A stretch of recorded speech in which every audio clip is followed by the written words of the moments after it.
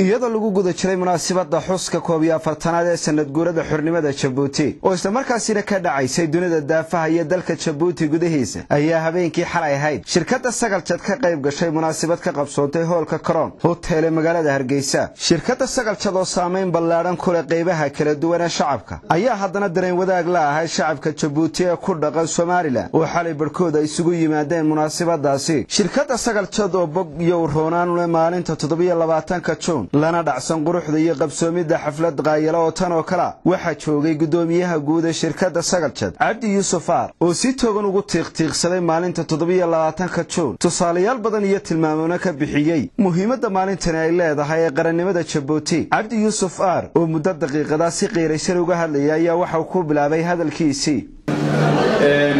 Ambasador xuseen mas'uuliyiinta xukuumadda somalilan wasiiro iyo taytalada kala duwan ku fadhiya marti sharafta jaaliyadda reer jabuuti ee somalilan degan ee halkan joogta marti sharafta kale ee reer somalilan iyaguna ka soo qayb galay xafladda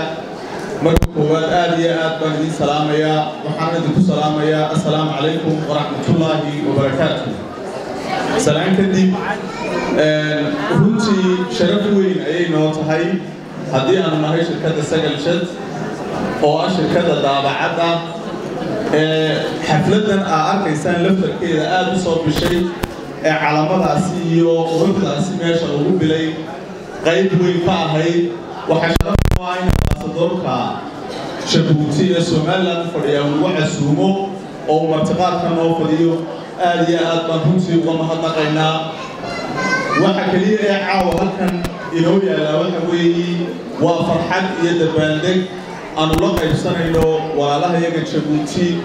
oo aanu nahay dad mida oo walaala ah oo isku mida runtii